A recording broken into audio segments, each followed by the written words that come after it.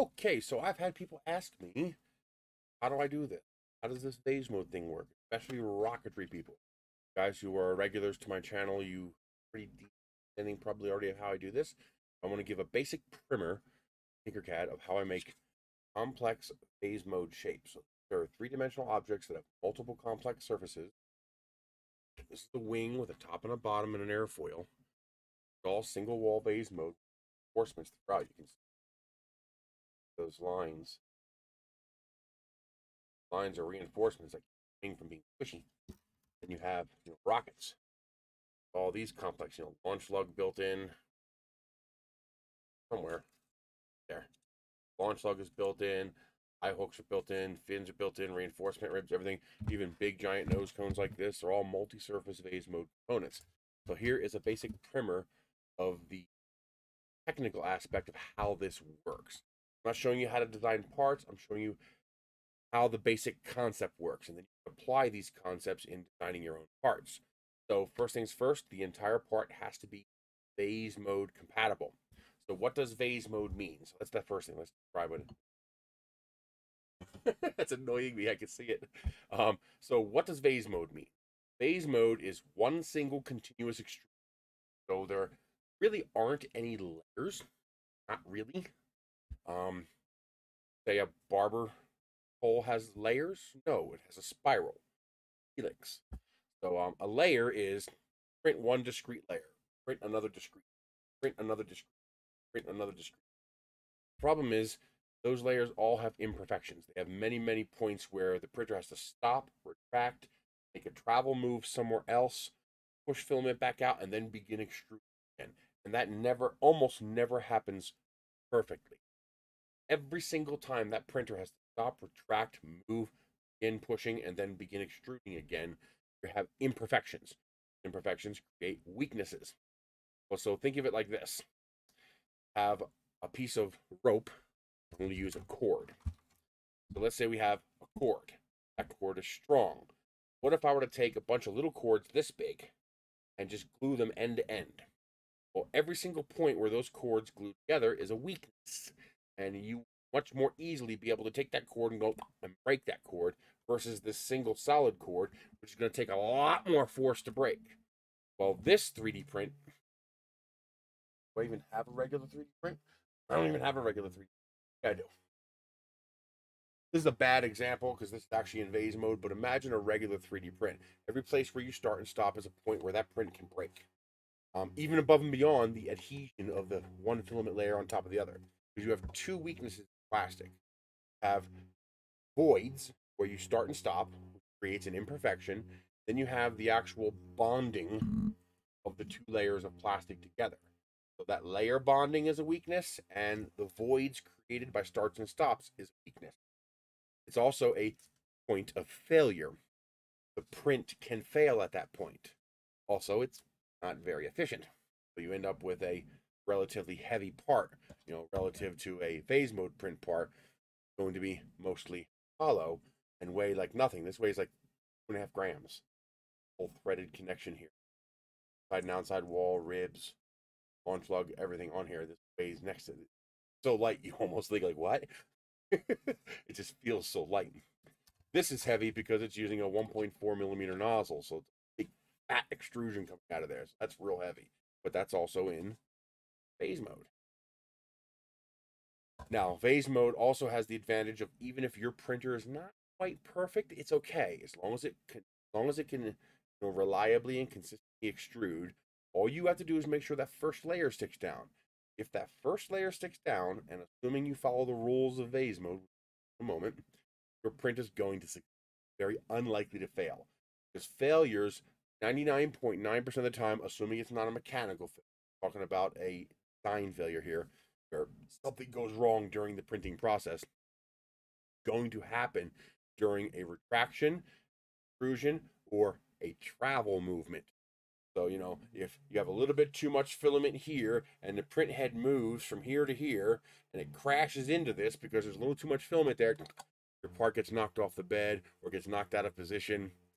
We've seen it happen all the time. Then you end up with a spaghetti monster on the printer. you end up with a big, I don't even have one, you end up with a big pile of, you know, filament just spaghetti monster. So um, vase mode is that's almost impossible. Very very unlikely. You could still have something bump into it. You could still over extrude and have a collision, but it's far less likely because you're not moving from here to here.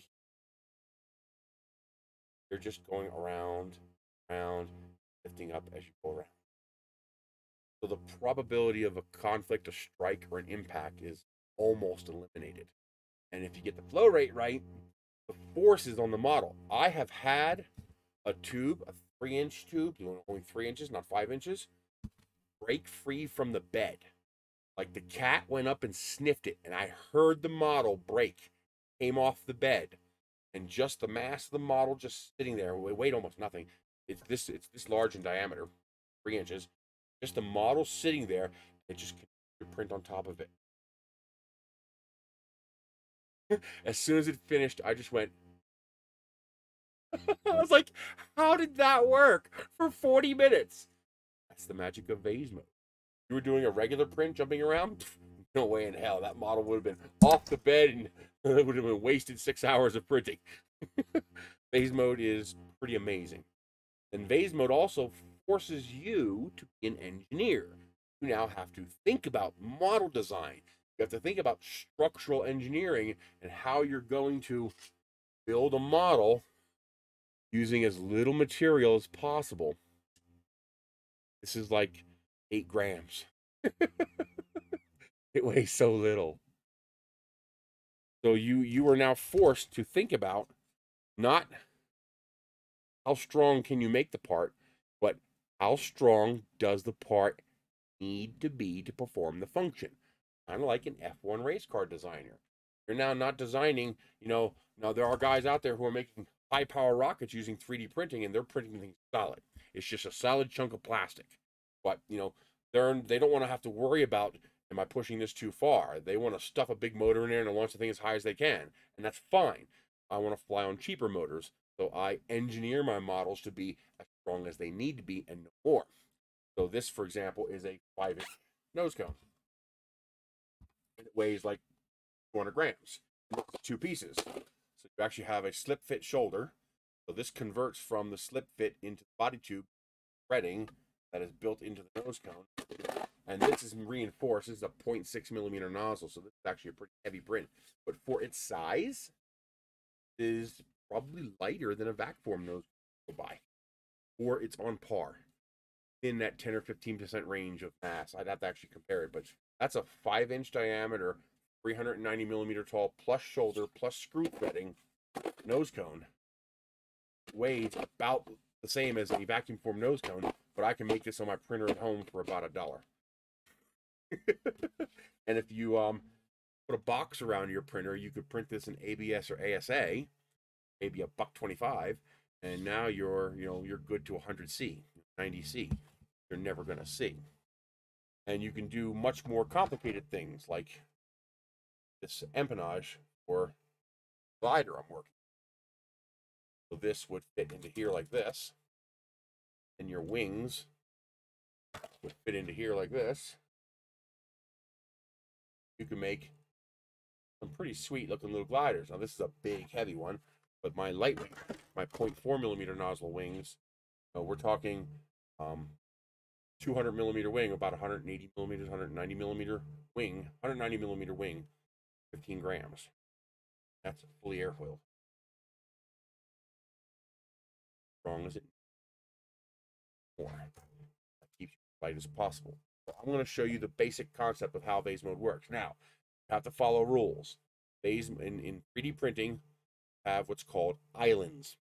For example, I want to print this shape. I can't do it. This cannot be printed vase mode. This can be printed vase mode. This can be printed vase mode. This cannot be printed vase mode because you have two islands that are separated here. The printer has to move from this to this, back to this, back to this. You can't do that. You not have islands. Um, what else? All of your surfaces have to be interconnected. So normally a cylinder like this is not a valid vase mode print. Solid cylinder, where you only print the external wall, that's a vase mode. But if I want this five millimeter thick wall, I can't vase because you have this surface and you have this surface. You have two distinct separate surfaces. Can't have that. You cannot have two separate surfaces. Must be able to move one to the other with one continuous extrusion. Can you technically print this vase mode? Yes. The printer will go, okay, well, I'm not supposed to do that, but okay, I'll print this, then I'll stop and I'll jump here and I'll print this. You stop, compromising the structure. It will not be as strong. You also need to worry about um, overhang angle. So this is a 3D printing rule. The reason I print this like this and not like this, well, actually I could print this, but like for example, one of my one of my rocket fins. You need to watch out for this underhang angle, as you can see. Back angle on that fin is pretty sloppy because wasn't quite enough angle. Unless you have really good cooling, you want more angle. So if you have a fin that has a shallow up and a front, well, just turn it upside down. Now you have a nice steep up. Now, this is very shallow, but because it's sitting on top of previously printed layers, that's okay. It's only when it's unsupported layers that you want to make sure you have a nice angle. That's why all these angles are pretty. Make sure you don't have droop. Plastic is molten coming out of the nozzle. You need to support it. As long as you follow all those rules. So, for example, when I print this piece here, see, I didn't have support for that surface there, so that failed. When I redid that one, failed one, Where's the good one? I have a good one here somewhere. I don't know what I did with it, but I have what I did was I have some triangles on the inside of the model that start off at zero and slowly work themselves out at like a 60 angle. So by the time they get up here, they are supporting this structure when it tries to print that. Right there. Yeah, there we go. See, all those little triangles in there printed so that when it got to these parts here, there was something there to hold it up. Think about this kind of stuff when you print this. This has the same double wall structure, side and outside wall, and actually, actually that gives the model much more rigid, much stronger, versus model without it without the inside wall, you end up floppy. You're strong this way, you're strong this way, but you're not very strong this way, and you're not strong this way. Double wall gives you dimensional stability. You have to start thinking about that. So how do you make this vase mode compatible? Because this is vase mode compatible. Now, if you just make a cylinder vase mode, you're going to have a very floppy cylinder. So I also have all these structural ribs side. Very little mass, lots of strength can't you cannot bend a paper tube this hard. Phenolic tube, sure, but a regular paper tube, you'd kill it if you tried to do this. Like bam squeeze. Saw my Narcon video, you saw me destroy one. Busted one of the pieces. Fun. um, so I'm gonna show you the basic mechanics and same thing. Here's a motor mount. That's a that's a 38 millimeter motor mount. Yep, 38 with attachment points for your shock cord. Do a paper tube in here, and then this threads into the bottom of your rocket. All vase mode. So now this is a modular rocket system. I can now thread whatever size motor mount I want into this rocket.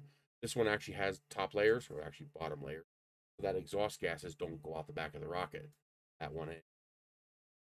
Sealed enough. So here's the basics of how this works. We are going to go into Tinkercad, and I'm going to show you. This will work for pretty much any modeling program. You'll have to know how to use your modeling program and how to bend it to your will and make it do what you want.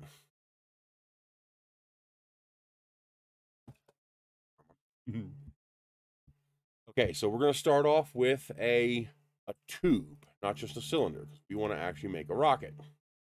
Let's say we're going to make this rocket like this. Yep. Sides. So let's see. Um, uh, my normal tube is 75 millimeters, which is 35, 37.5, 7.5. That gives us a 75 millimeter tube, or roughly three inches. And I want my wall, let's say I make my wall three millimeters thick. So now I have a tube, but this tube has two surfaces. You have this surface here, which is vase mode compatible, and you have this surface here, which is vase mode compatible. But what did I say you can't do? You can't do this. You can't print two separate things unless link them. Now, I'm going to exaggerate this to make the point. I'm going to put a big fat hole right in the side of this model. So in Tinkercad, this is called a hole. So when you overlap a hole with a model, whatever is um whatever is um congruent between the two of them, which is wherever they wherever they overlap, the hole will delete from the other model. So I then merge these two models together and we now have a vase mode compatible cylinder. Because now we no longer have this surface and this surface. Because this surface is now connected by this surface here and this surface here.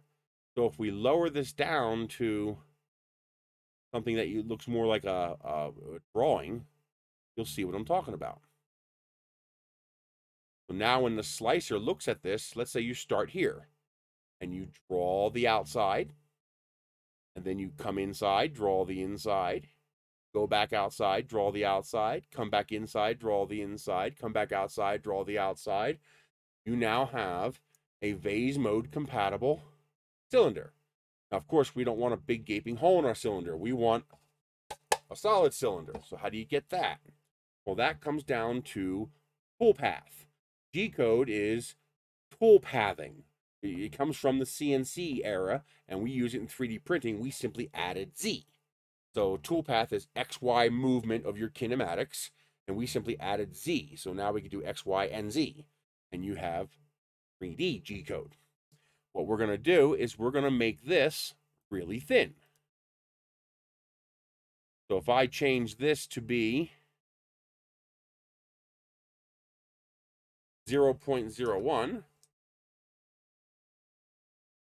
now just for editability in the future, I'm going to center these two parts, okay, so that this will always be on the central 90 degree plane of this. Now I merge them again. Now we still have our cylinder. It's a whole cylinder, but there is technically a hole here. If we zoom way in, you can see there is actually a gap there. And you have this surface on the right and you have this surface on the left, which means this is now vase mode compatible. You can draw the outside, move inside through this gap, draw the inside, move outside through this gap, draw the outside. That's how you make a multi-surface object vase mode. Now, this alone is going to be pretty weak. You're talking about two flimsy single wall cylinders connected by this single line that goes through the model. You can actually see that single line on the model here. It's there. That line right there, that extra thick line where it seems to double up, well, that's my line. Is that it? Yeah, right there. So that there is the line, this cut right here, that moves inside and outside the model and allows you to print a vase mode model. So what about the ribs? Well, that starts to require knowledge about how 3D printers work. So let's take this apart again. Now this one's actually pretty easy. What I'm going to do is I'm going to align these with their edge. So that now this cut plane will still cut all the way through this model, but it's sitting directly on the edge. Now, this is important. Tool pathing works in an interesting way. So let's say you draw a tool path on your printer. So you lay down a line of filament like this. Now, this is a line of filament being laid down. Think of this as your cylinder. On in Simplify 3D, the tool path is determined by the outside perimeter of the model. So let's say this is the outside, this is the inside. But this here is the inside, okay? And I'm going to draw this. Well, the way it's going to draw that is by running along this outside edge here and then the width of the filament inward. So it'll be along this edge here, and then this will be the 0.4 millimeter wide extrusion. Some slicers are different. Cura tool pass down the center of the filament. And so you measure 0.2 millimeters left and right of the tool path. So Simplify 3D, outside edge, 0.4 millimeters in. That's your 0.4 millimeter extrusion. Cura runs the center and 0.2 millimeters to each side of the center, giving you your 0.4 millimeter path. Not drawing two paths, just where in the slight in the in the slice engine it's drawing its marking line. It's important because we need a rib to reinforce this model. That rib has to create a rib inside this model. Because remember, this space in here is hollow. You're printing this outside wall and you're printing this inside wall, but you're not printing anything inside here. So it's a four, it's a what three millimeter thick wall that's filled with nothing. It's hollow, and we need it to not be completely hollow. We need some reinforcements. We need something something in there to give the model some strength, some stiffness. And here you can see that one, all those ribs right there that give this model some actual strength. Now, the way we do that is we have to have the tool path from the inside come outside. Now, you can go from the outside inside. This model actually does both. This portion of the model is outside in. This portion of the model is inside out. I do that because it's easier. It's a lot easier to do this when you have a symmetrical radial shape. The inside of this shape is symmetrically radial. The outside is not because it's got screw threads. So the slot here is going to be completely different than the slot here than the slot here.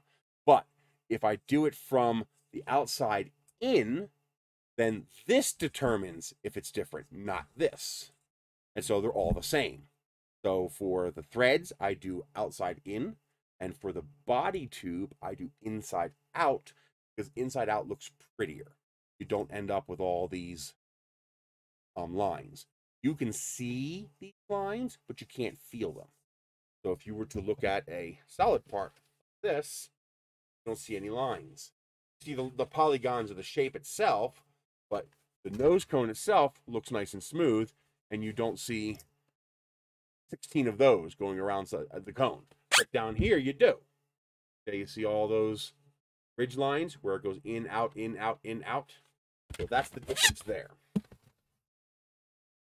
Now, you need to come out and then turn around and go back in. So you're literally forming a U.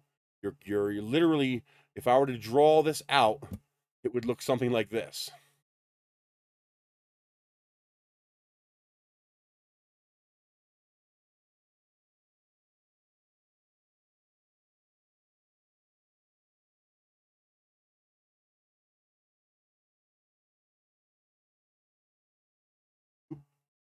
Come here.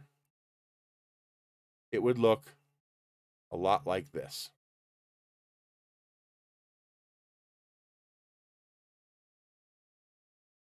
And then this would be your outside wall.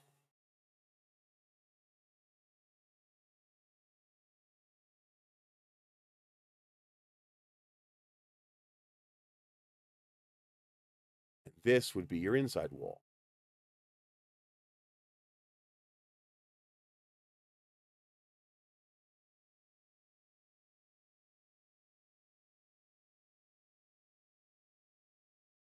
Do something weird?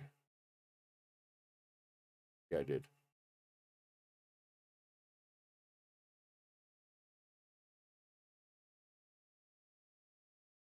This is a pretty good approximation of what you're drawing.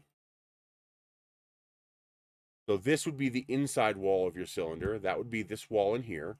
And this one here would be the outside wall of your cylinder, this surface here. And what we're doing is we're creating this little rib that makes a U-turn, that comes down and makes a U-turn and then goes back. And we do that with this little cut plane going through the model.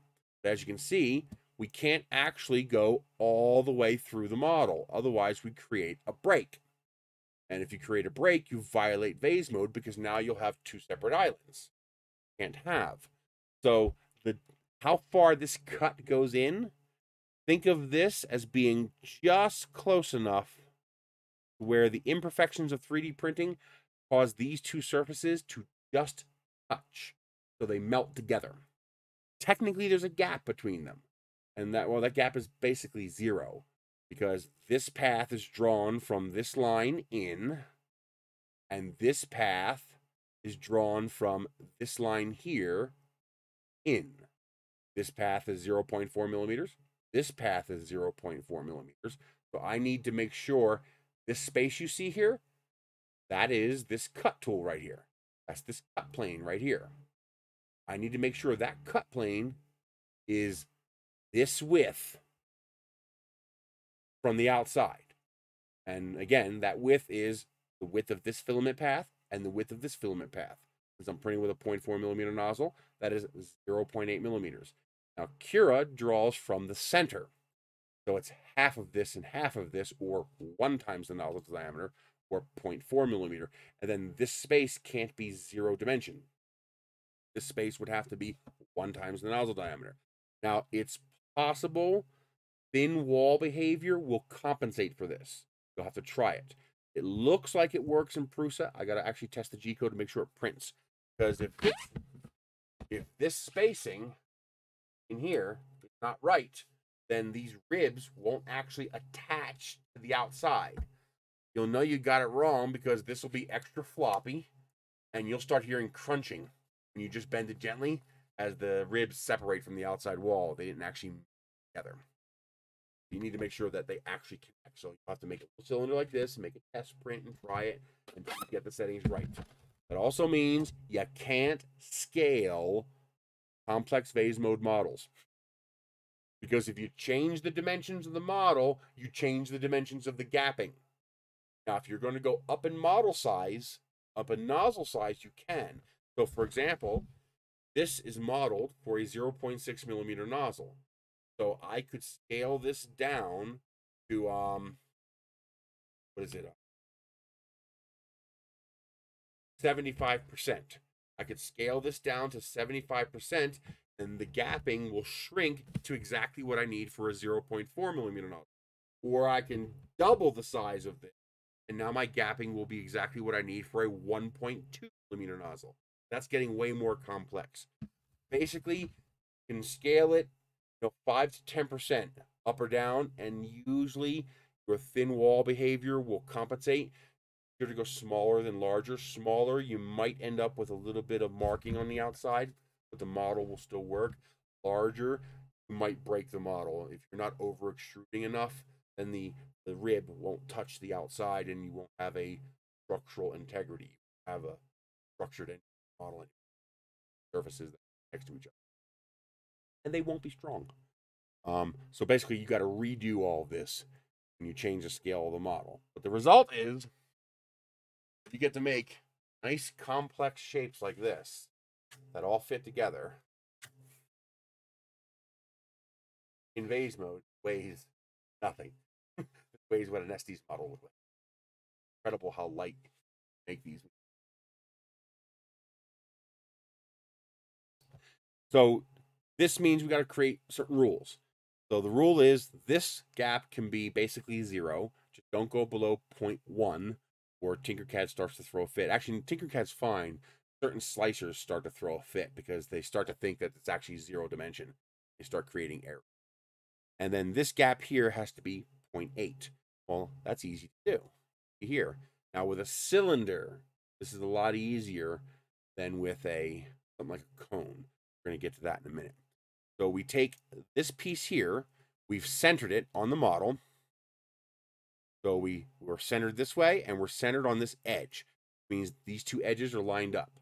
I need this edge to be 0.8 millimeters away from the edge of the cylinder. What I do is I grab this, I hold down the shift key and I move it in that direction. When I hold down the shift key, I'm restricted it to X and Y. If you don't hold down the shift key, you can move both X and Y.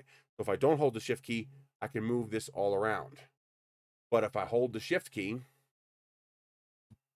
it'll only let me move it either purely this axis or purely this axis, but not both. So I just move it an arbitrary amount this way. See this number? That number there is how far I moved. Notice it's a negative number, so we're going to have to remember that. I click on this and I type in negative 0.8. There. I now have a rib that is negative 0.8 millimeters away from the outside wall. Let me move this away from these other parts that we're playing with. Now, I need to rotate this rib. A little trick, I'm going to make a dedicated video, but I'm going to I'm going to put down a master ring. And a master ring is you're just going to create a ring that's bigger than the entire model.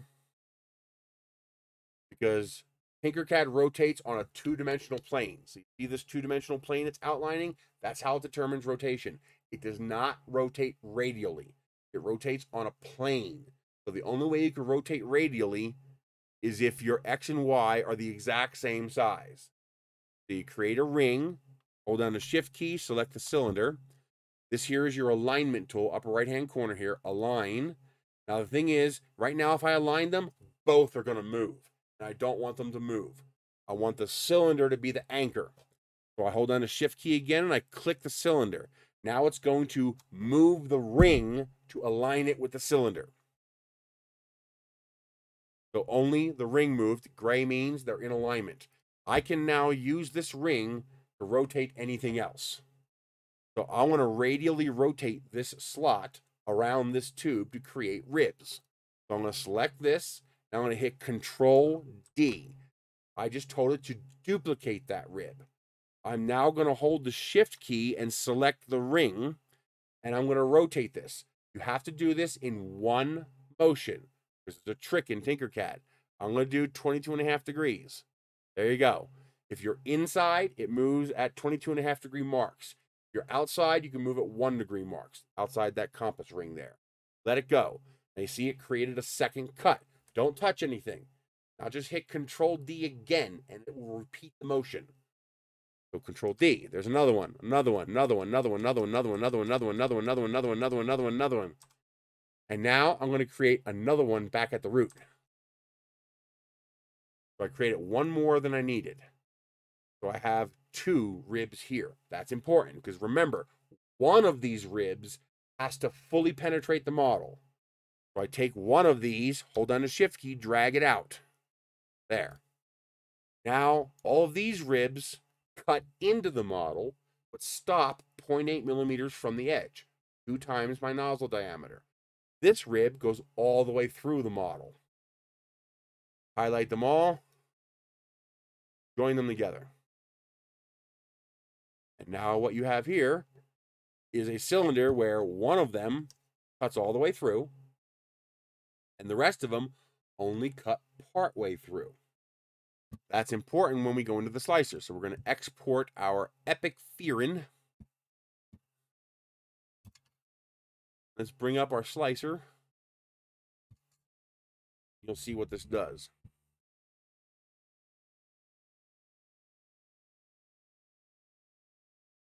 So here we have our cylinder. And in the slicer, I'm going to tell it to do no top layers, no bottom layers, one single outline, and we're going to use single outline corkscrew or vase mode or spiralize mode. And then I tell it to print. Now, did it work? We'll turn on retractions, toolhead, and travel movements. If you see any blobs or any red lines, then it didn't work. Don't, it did work. And this toolhead should basically stay in the same spot all the way up and down. That tells you that it worked. See more closely what it's doing. And see that, where is it? This one here fully penetrates. So you have this tool path going in and this tool path coming out. That means I've connected the inside and the outside surface. Vase mode compatible. While this rib over here does not fully penetrate. It comes out, touches the outer wall, turns, turns again, and goes back, makes a U-turn. This is one unbroken line. And then this is an unbroken line. So it'll start off here, it'll draw the outside, it'll come inside, it'll come over here using the inside wall, it'll go out, make a U-turn and come back, and then it'll come over here, come out, make a U-turn and come back. It'll come over here, come out, make a U-turn and come back. So this is now a two-walled, reinforced, structurally engineered component that is all vase mode compatible. And you can come in here and look, and you can zoom in and make sure these are actually touching. See? No gap there. So this is actually touching this. Unless you're under extruding, enough of the plastic between here and here will touch each other to fuse together. That will give you your engineered structure. That will give you your reinforcement without adding a whole lot of weight. Now, if I did this wrong, so for example, if I did this without the cut,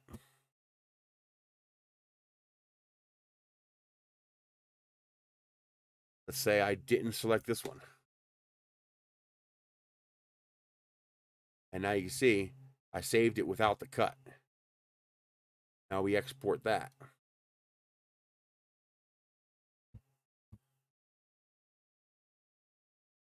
Now you're going to see all kinds of alarms go off.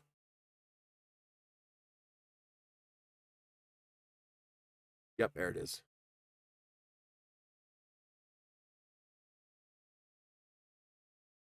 Are all the blobs inside? Are they actually inside? Why isn't it showing me retract? There it is. So here you have your zits.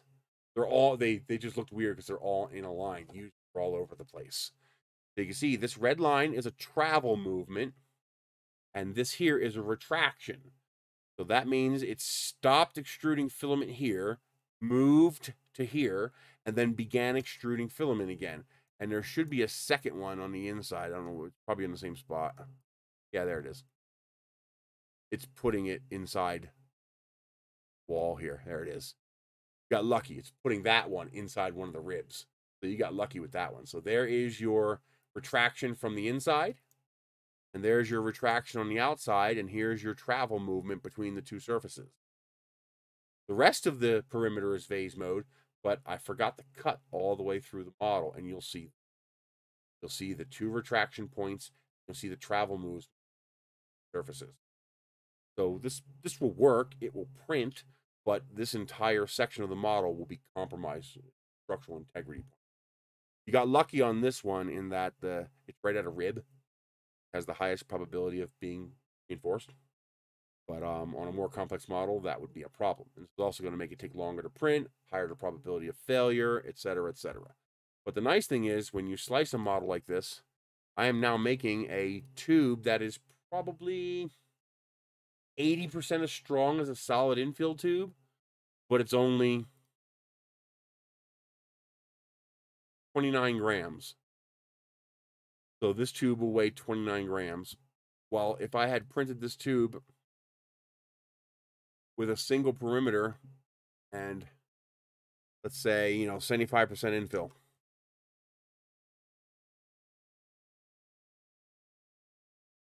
Now it weighs 88 grams. So almost three times as much. I mean, granted, it'll be a strong tube, but it's waste. And look at the print difference. 12 hours and 50 minutes versus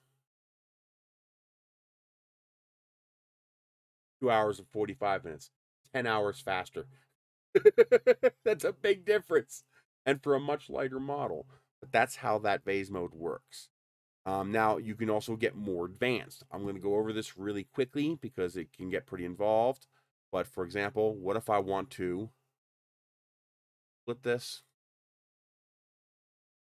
highlight everything, but I want to unhighlight that ring, unhighlight that ring, and unhighlight everything. So what if I want to do a um, a spiral cut? I want to I want to print this with a spiral. Well, all we're going to really have to do is tilt the cut. So we take this and we tilt it. Now, one trick is can't go past this point here on the outside. So the, there's a limit to how far you can go. the first thing we're going to do is we're going to make this much taller because the spiral cut is going to be um, longer than the straight cut. And we tilt this till we get close to the outside edge there. Stretch this in. See there, you can tilt it until we are almost touching that edge. You can get closer if you want more than enough. Now this gets a little tricky. So this cylinder should be 75 millimeters. Yes. So I need to create a solid cylinder that is 75 by 75. And it needs to be the same height. 117.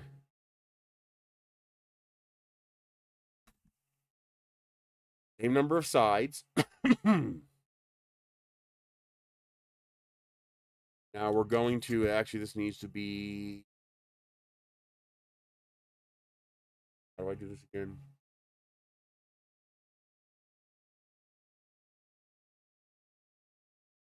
Actually, no, that doesn't have to be.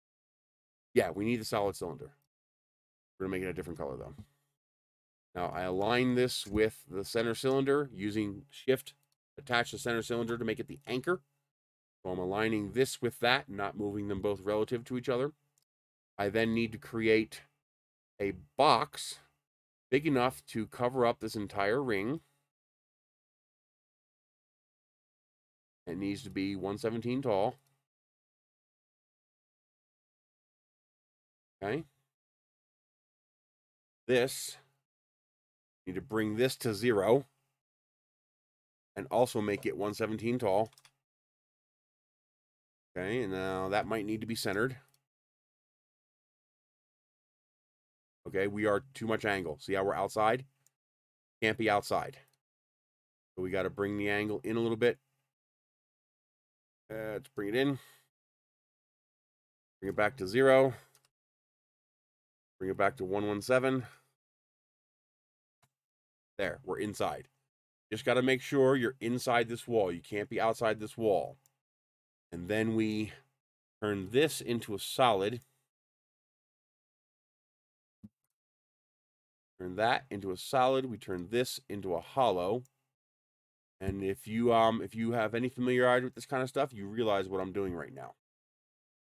I am cutting my slice to be conformal with the outside surface of the model because it has to be equidistant. So now I select both of these two models and join them. And now my little red model, I can now get rid of this cylinder. I don't need it anymore. And oh, that did not work. Why didn't that work? Oh, I joined it with the wrong model? Oh, I'm an idiot. I'm sorry.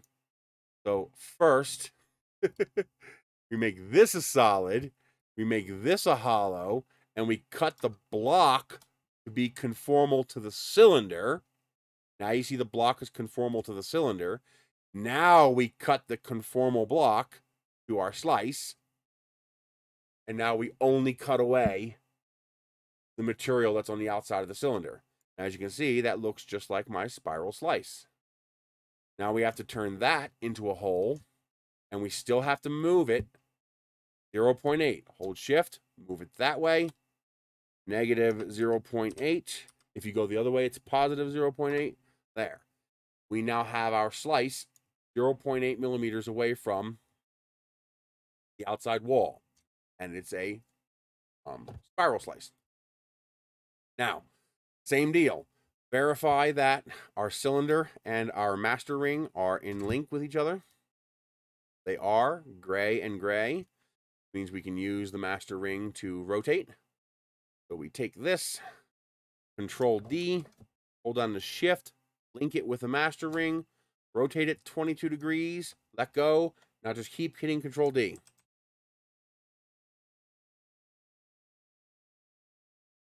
And one more because we need to grab that one more and bring it out. That's not what I wanted. You grabbed the wrong one. Oh, got a fetish for grabbing that one. It wants that one. I want this one. There we go. Grab that one and slide it out so it penetrates the wall. Remember, one of them has to penetrate, and you need to use the one that is on the X or Y axis so that it moves straight out. That's why I grabbed that one. I could use that one. I could use this one here. I could use this one here, or I could use this one here. Has to be one that is on the X or Y axis so it overlaps with the one that's underneath it. If you grabbed any others, it's not going to move in line. Now you can do that. You could put the work plane on one of these other ones. If you get the model to select it, there it goes. And now I can move that one sideways. But it's easier just to pick one that's on the normal work plane. It's a whole lot easier. So now I have my ribs. They're spiralized. They're all 0.8 millimeters away. And I have one penetrating rib. I then select them all and join them. Now, there is an issue here. This is probably too much of a spiral. I would probably use less spiral because you can't put a fin here. All right? You can't have two cuts overlap each other because then you have two islands. Can't have an overlap. This, the spiral needs to be shallow enough to allow you to put your three, four, five fins on there, and that slice has to fit between two fins. So you can't have a fin cross over the slice. You have to shallow up that angle. You're gonna put if you need like a three fin model, this might work. Yeah, this will probably work with a three fin model. If I have the fin start here and end here, this will fit within 120 degrees. But a four fin model, probably not gonna work. I would have to shallow up that slice a little bit. Now, watch what happens when we export this and slice it. This is where it gets cool. This is where you start to go, wow, that is neat.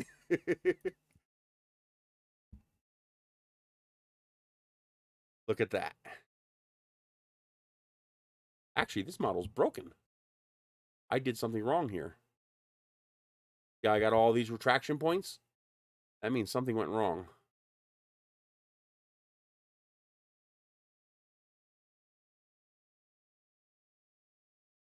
Okay, where's the other start point? Oh, there's a glitch. See, it's trying to draw something right there for some reason. That's actually a glitch in the model. Um, that's a Tinkercad thing. Um, it could also be my slice angle was too. So the different facets of the model are interfering with each other. That's possible. I never did a slice this before, but you get the idea. For most of the model, this works perfectly. You have your nice clean spiral. But that's how we got that see here. Show you in here in transparent mode. See all the slices, spirals. Isn't that cool? Cones are a little more difficult, um, but in reality, you can do the same thing. The trick with a cone is create a multi-part cone, make a cone a part cylinder. So, for example, this cone here, this double wall cone, but this is not. So what I did was I cut off the top of the cone. Can vase mode print clean top. There's actually a hole in the top. To allow this entire cone to print vase mode. Um, so this is a straight up um, cone. Literally, it's cone. While this is hemisphere stretched out. When the angle starts to get extreme, or when I think this is going to look good, I cut the top of the cone this, I do my cuts and my ribs the exact same way I did the cylinder. Exact same process works. Exactly the same thing. Keep a solid copy of the cone because you're going to hollow out the center of the cone too. Keep a solid copy. Put a box over it. Cut the box to the shape of the cone, and then you cut the rib to the shape of the box, which is formal to the cone. Lay your master ring and you rotate. Then you make sure one of them cuts through the cone. So on this one here, here's your cut through, cutting through the cone. And then up here, I do the exact same thing, but because the um this is a cone and it's also not flat inside, there's also a cone on the inside. Can't print flat in vase mode. So the inside is also a cone. So I use this I use this cone itself to hollow out this cone, make it um hollow inside, then it stops right about here. Ribs, an outside surface. that allows you to have that without ever having to switch out a vase. I think that's why the shoulders are all angles. Can't do a 90 degree implicit shoulder. That won't work. So what I do is I just make sure inside surface has a chamfer. And then this has a chamfer. What I do is I make this chamfer shallow and this chamfer so they overlap as much as possible. This is an incomplete cone. So you have a nice big gap here.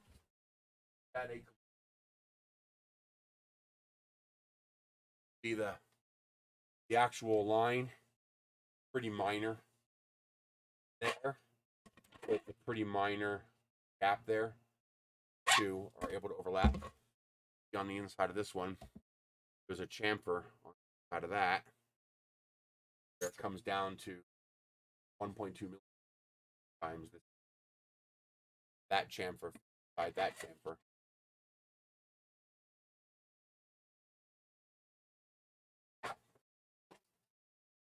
Now to do the chamfer is actually pretty easy. All you do is drop a cone in here, turn it hollow, um, make it some arbitrary height. You want it relatively tall, 60 plus. Then just make the base diameter bigger than cylinder. Just make sure it's bigger. Highlight both of them. Use your center tool. Shift, select your cylinder so that you're moving the cone and not moving the cylinder because this keeps everything aligned with your master ring. Very important. If you lose alignment with your master ring, you got to disassemble to get back to a symmetrical part to align with your master ring. I'll explain that in a different video. Bring it up, flip it over, then you drop it in until you get your cuts like that. I'm going to turn off my snap grid and I'm going to move this down. We know this here stops 0.8 millimeters from the outside. So you want your cone to completely cover up those cuts. Now you know that this remaining material times your nozzle diameter, which complete inside outside ring. That's the smallest you can go without breaking vase mode. So now this I'm actually going to make taller because I want a steeper angle. I'm going to drag this down, make that a steeper angle. I'm going to have to come up here and move.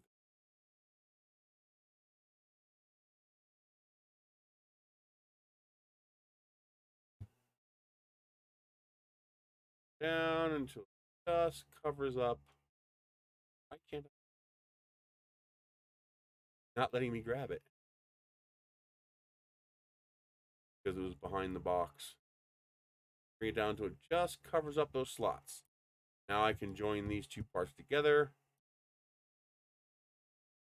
And now I have a nice little chamfer inside that tube.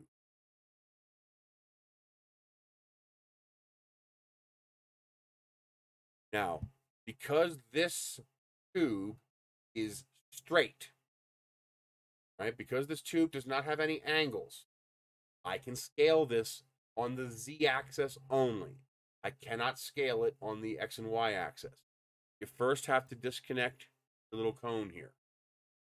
Right? So um, you now take this and make it taller. That won't break your vase mode.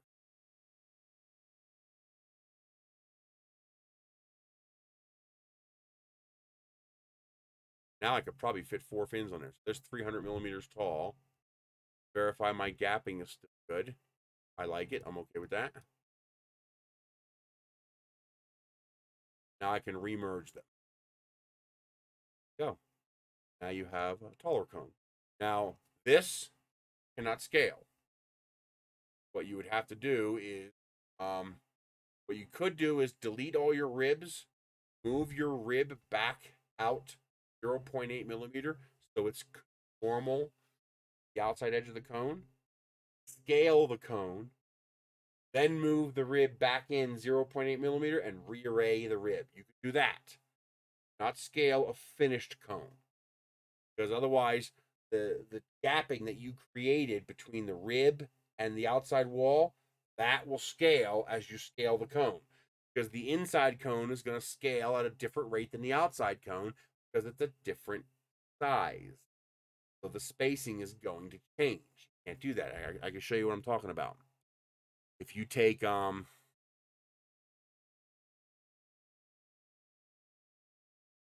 if you take a shape like this, if I scale this shape, stays the same as I go up and down. No matter how much I go up and down, X and Y don't change. The outline of the object doesn't change. It stretches, but it doesn't change. But if I take an object like this and stretch it, right now we have a hemisphere. And now we don't. We have an oval. And it's going to keep changing shape. And if I put two of these next to each other, and I make this one smaller, and now imagine they are merged together.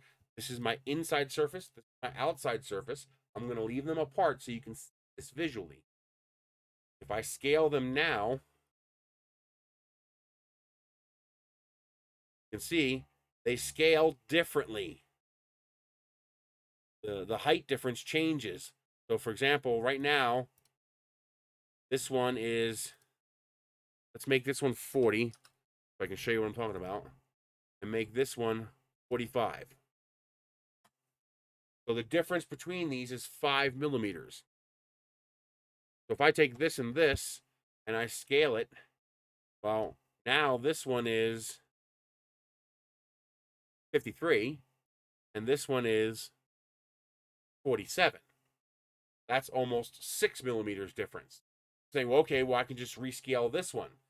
That won't work because this, you call this, the shape that forms between this point and these points alters, skews. So your 0.8 millimeter gap will not stay consistent. At the bottom, it's going to be pretty close to 0.8. The Farther you get to the top, more that gap is going to deviate from 0.8, and you won't have an integrated structure. So you need to redo your cuts. It's going to change the shape of the cone. Um, straight object like this, you can get away with. A non-straight object like this, you cannot get away with it. And even this one here, you cannot change the x and y. Because if you change the x and y, the relationship between two segments of the model will also scale. So what started off as a 0.8 millimeter gap might become a 0.9 millimeter gap. And now your inside wall doesn't touch your outside wall. And now you have two loose surfaces. You end up with more of this. And you don't have an integrated structure anymore.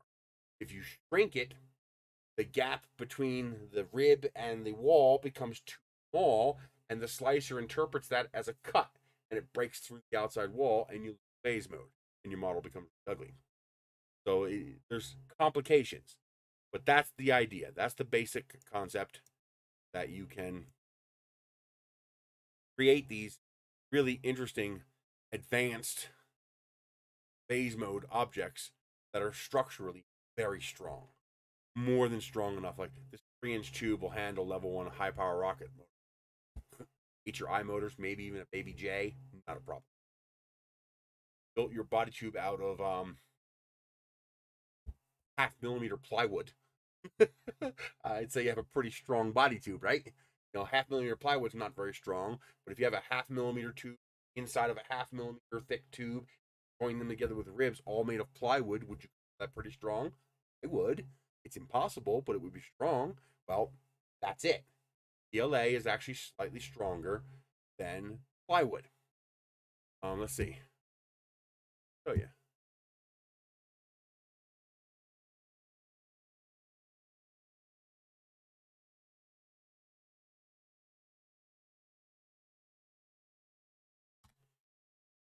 The plywood has a tensile strength of 27.6 to 34.5 megapascals, while PLA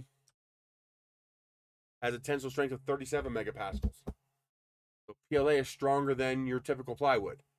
Now, of course, that's same for same. Obviously, this model is a 0.4 millimeter thick wall and a 0.4 millimeter thick wall joined together with ribs. So you would have to compare that to a plywood tube that was a 0.4 millimeter thick layer of plywood and a 0.4 millimeter plywood connected ribs. But same for same, PLA is as strong as plywood. And plywood is already 10 times stronger than we need for rocketry, not 50 times stronger than we need for rocketry. I mean, they make high power rockets out of paper and balsa. Okay, so the, the materials are there, the material strength is there, matter of design. Your primary problem is and not heat flight. Now, okay, try to fly a vase mode print rocket at Mach 3, it might soften in flight and collapse. okay? Because you only need about 40 C for this model to collapse, centigrade. And at Mach 3, some of this model is probably going to hit 40 C. but for your average high power flight, people don't typically fly that fast. We don't, because it costs a lot of money. Those people know what they're doing and they're not going to do that. And if I printed this at a solid PLA, it would handle Mach 3 just fine. Your primary issue is two things heat on the ground when you're not flying. So, for example, um, this part would probably be okay in the sun. Part might not be okay in the sun. A uh, solid part, not a problem. But remember, this is a single wall print. Vase mode. Got multiple walls, but each of those walls is a single wall. This dark color could absorb enough solar radiation to heat up and then warp. Okay?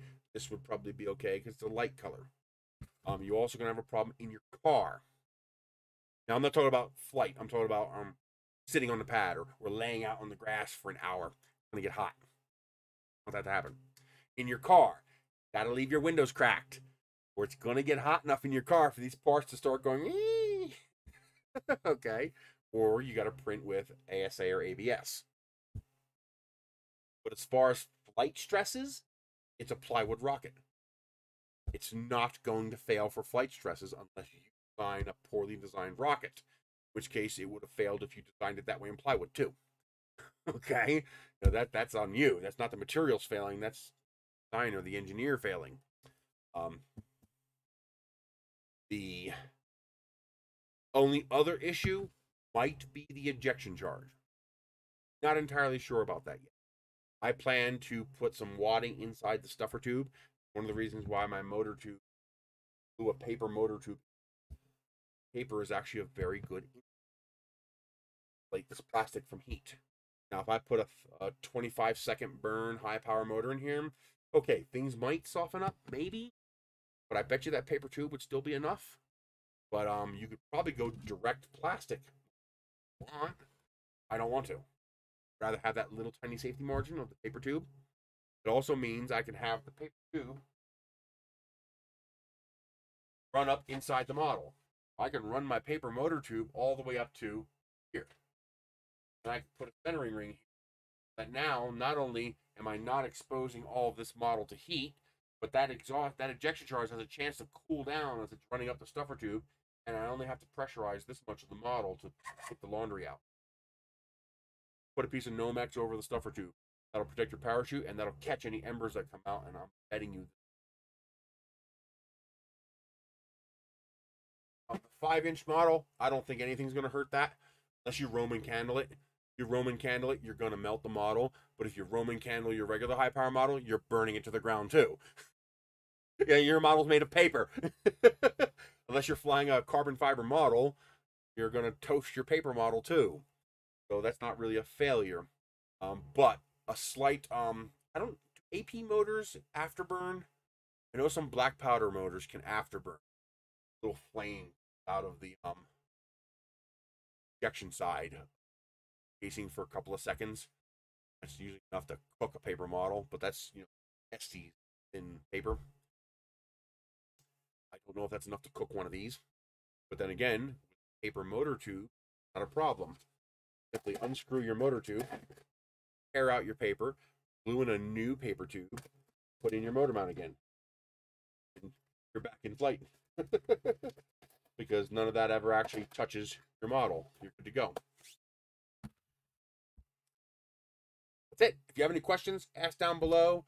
If you want to see a tutorial on something more specific, I can consider doing that. I can try to put something together for you. I know this is a bit long, but it is a bit involved. Um, it's a pretty um, pretty advanced process, especially for Tinkercad. Uh, you can also do this in things like Fusion, SolidWorks. I don't do that. I don't use those. That's one of the reasons why my models have so many facets because uh, maximum resolution is 64 polygons. Um, around this. So oddly enough, the smaller I make my models, the more round they are because same 64 polygons. So on a model like this, can't even see polygons. Body. Can't even see the polygons because it's the same 64 polygons as this model. Facets or faces. Um, but it's free and it's super easy. Make some ridiculously complicated things. Get some complex models. This whole entire I I, I recreated the Estes UX fin system my request. Previously, I would make all my parts except for the paper tube 3D printed. Nose cone, launch lugs, centering rings, threaded motor retention, fins, fin can, all of it. Fins are UX compatible. I can put these fins on an E2X rocket. I can put E2X rocket fins on this thing. I designed this to be printable mostly in vase mode. There you go. I bent one how far it would take to bend, break it. I got it almost 90 degrees. Okay. that was a glitter filament, so compromised. Non glitter are pretty darn flexible.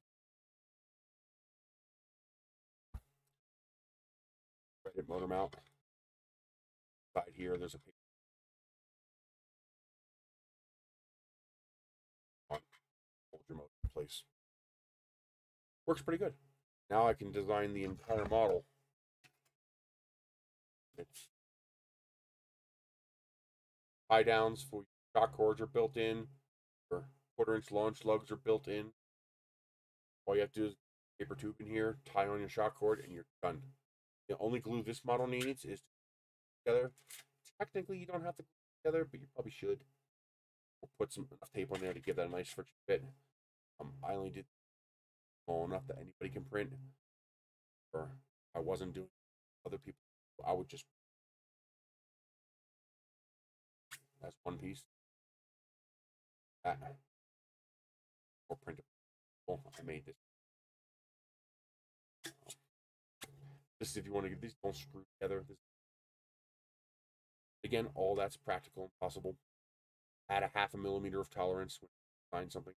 So the, the 29 millimeter I make my hole half a mil tolerance side. That's usually it for you. Whole thing prints like this rocket. I even recreated the Rock Hydra. it's fun. Working on a boost glider.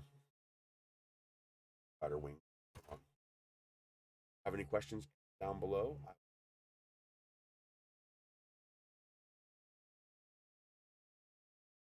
Custom. I'll go over. Oh, I'm sorry. I'll go over the spiralizing with more detail. I'll go over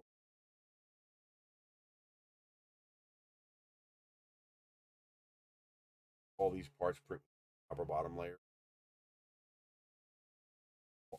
watertight parts. Not really watertight. We call it water by having bevel times enough. Top and bottom layers. Sometimes the top and bottom layers can and also opportunity failure. Printing that bottom layer rips up outer perimeter by eliminating top bottom large failure. My launch lugs launch lug grows out. Top side can be flat if you want, but it sides like that. So bottom side has to have an angle out and. Technically, that's vase mode compliant, and technically gravity will. so don't argue with gravity; you lose. but um, any questions? Ask down below and I will be showing off pockets. I mean, I can't do something. Well, I'm gonna do. It. now I'm really gonna do it.